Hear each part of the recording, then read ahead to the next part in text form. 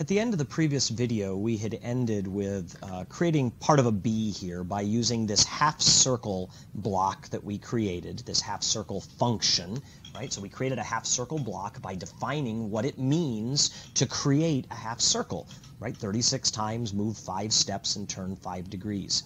And that's our first build your own block, right? The creation of a function.